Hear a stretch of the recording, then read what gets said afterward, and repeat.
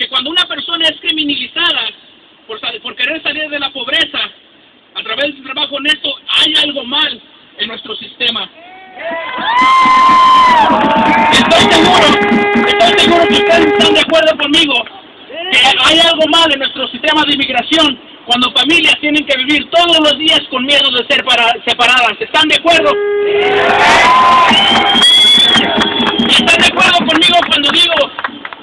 De acción de nuestro gobierno tiene resultado de, de muchos jóvenes como yo, de no poder vivir y ser parte de esta sociedad completamente? ¿Están de acuerdo conmigo al decir que hay algo mal con nuestro gobierno?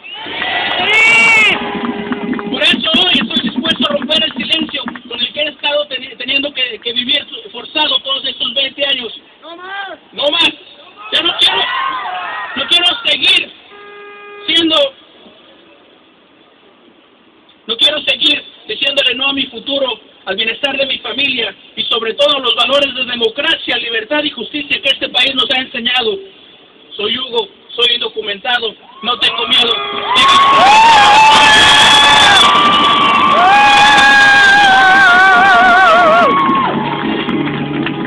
I'm Hugo and I'm undocumented.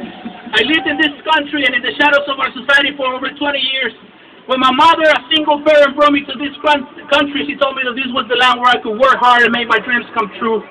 However, she probably didn't know and never told me that in order to live in this country, I was going to have to learn how to live in fear. You know that same fear when your stomach tightens up and you feel cold sweats all over your body.